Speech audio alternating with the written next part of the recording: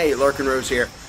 In any intellectual contest, I think it's important to be able to turn the chessboard around in your mind. Uh, in other words, to see the game from your opponent's point of view, uh, to see what weaknesses you may have, what his strategy may be, basically how he sees the world. Uh, in other words, know your enemy.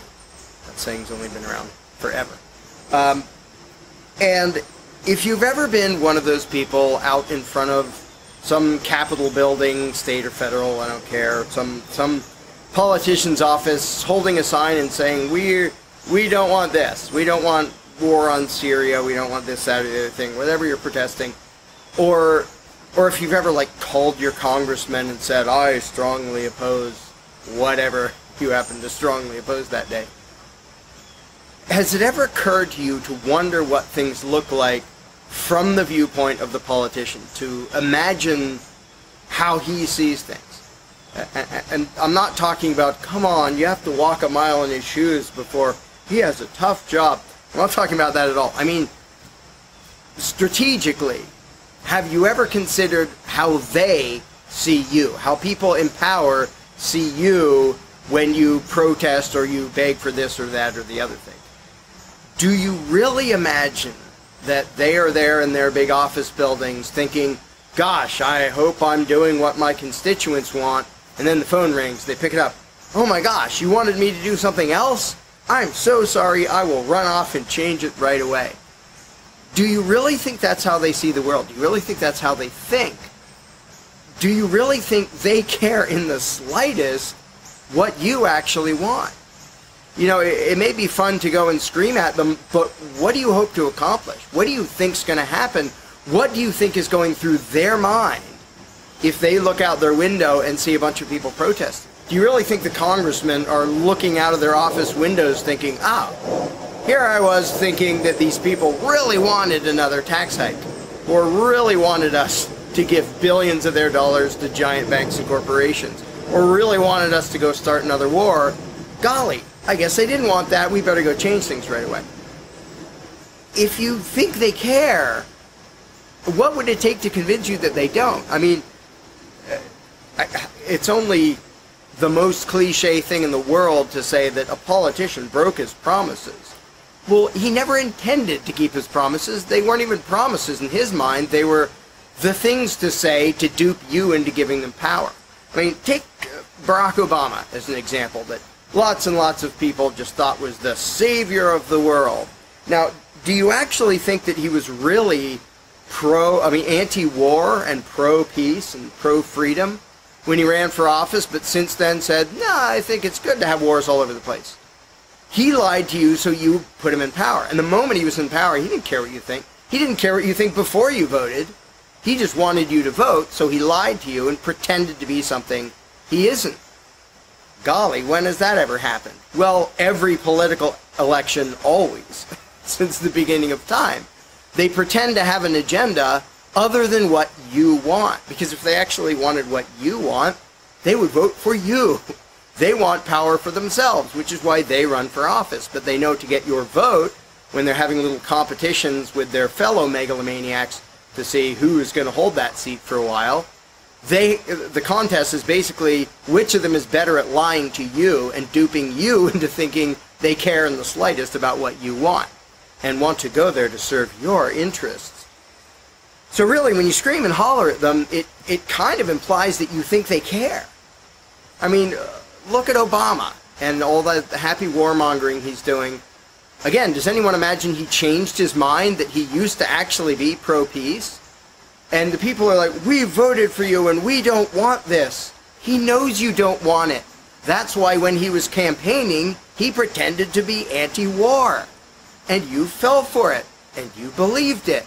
Now that he's in office, you think he's going to start caring now? He didn't care then. He doesn't care now. You put him into power, and there's nothing you can do about it now. Ha ha these people, and it's, it's hard for decent moral people to get into the mindset of a politician because basically they're sociopaths. They couldn't care in the slightest about you. Not even just what you want. They don't care if you suffer and die, as long as they have their power. And you can see it in their policies. They, you know, their gun control policies, They're trying to disarm people knowing that leads to higher crime rates. They're trying to do things knowing it leads to disasters in the economy and people going bankrupt and lo- losing their houses. They don't care about you. And when you go and beg them, you're basically saying, I know you care about me, master, which is just pathetic. They don't. And as long as you address them as if they do, you're just wasting their time. Your time. It's like, well, there's this carjacker that stole my car, and I'm going to write him a sternly worded letter telling him just what I think of the fact that he stole it. He doesn't care. He does not care in the slightest. Neither does anyone in Congress. I mean, look at what they always do against the will of the people. You really think they're sitting in their office going, you know, what my constituents are telling me, what the people really want, is higher taxes.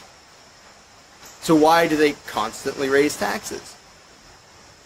This is the one thing they do care about. They don't care what you want. They don't care about your comfort. They don't care about your safety.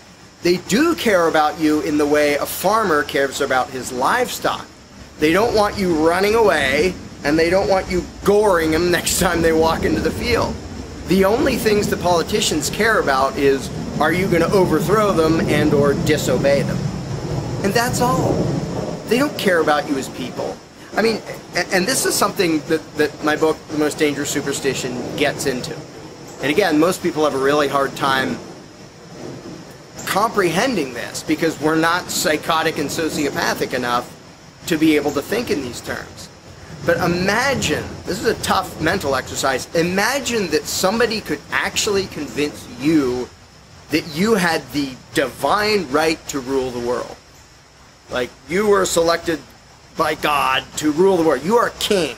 You are the rightful king of the world. Everyone else is your rightful subject and has an obligation to obey you. You have the right to rule. Now, you have to be a little bit nuts to believe such a lie, but if you can try to imagine that, how do you think you would view and treat other people? Would you treat them as equals? No. If you were actually convinced that they were your subjects, basically your property, you wouldn't treat them like people. It's like the slave master will never be nice to the slaves because he views them as property. The moment he views them as people, he recognizes that what he's doing is horribly evil and says, "Oh, you're free. Sorry, I, like, let me do anything I can possibly do to make up for the fact that I just stole a ton of your life from you." But that never happens because he's convinced, no, they're my rightful property, and he treats them accordingly, just like a farmer treats livestock. Actually, slave masters can sometimes be nastier because something inside them tells them that this isn't quite right and they take it on the slave. Anyway, that's a different psychological thing. But if you if you get into the mindset of somebody who actually thinks he is authority. Now my whole thing in, in the most dangerous superstition and a bunch of what I do is look at how the belief in authority affects different groups one of the groups that most people don't usually think about. I mean, I talk about how it affects cops and soldiers all the time, but the actual lawmakers, the people who are duped into believing that they have the right to control you and take your money, they can't view you as equals. It's utterly incompatible with them imagining that they are lawmakers, that they are authority and have the right to do that. If you thought you had the right to demand money from your neighbor and cage him if he didn't pay, would you treat him as an equal?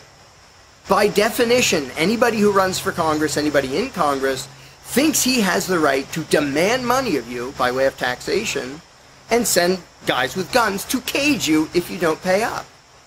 And you really think they're there to serve you? And in addition to the robbery, there's all the all the choices they forcibly control, all the things they make you do, all the things they prevent you from doing all the ways in which they send their armed thugs to violently interfere in your life. This shows their mentality, and this is not debatable. This is all their laws do. All they ever do, day after day, is issue threats backed by, or, or commands backed by a threat of violence. Here's what you have to do, here's what you're not allowed to do, here's what our armed mercenaries are going to come do to you, fine you, imprison you, whatever, if you disobey. It is literally impossible for someone to think that that's legitimate and care what his subject, his property, wants. So when you talk to them as if they care, as if if we just appeal to their better nature, It's like a cow going to a farmer and saying, I want to be free. And the farmer hears, and he goes, oh, whatever. The farmer will do enough to keep the cow alive and well fed, even happy to a certain point, to be more productive. Likewise, the politicians want their subjects to be content and comfortable enough that they don't revolt or run away or, or one way or another mess up their happy little arrangement with the uh, the control freaks being parasites off the productive people. But they don't care about you as people. They don't care what you want. They can't. If anybody really cared what you want as a human being, he would never imagine himself to have the right to rule you. So don't go to the politicians and say, we really want. They don't care any more than the carjacker or the purse thief or the rapist cares what his victim wants. They don't care in the slightest.